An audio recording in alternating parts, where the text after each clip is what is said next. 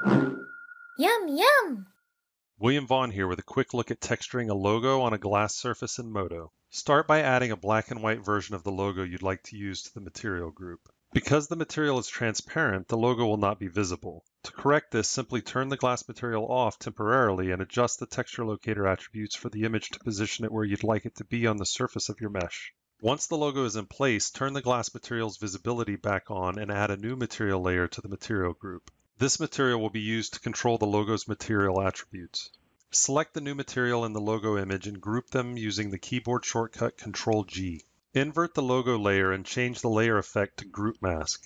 When used as a group mask, the white pixels in the image will allow the material in the group to be visible, while the black pixels will mask out the material. Using this setup enables you to isolate the material attributes of the logo on the glass surface and adjust them independently. Oh, look at the time.